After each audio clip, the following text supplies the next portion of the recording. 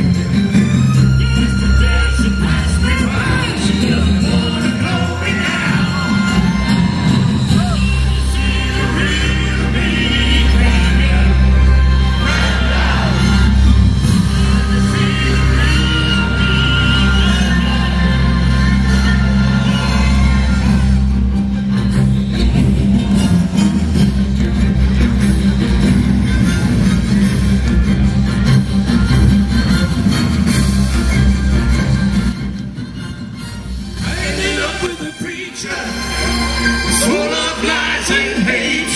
I seem to scare him a little.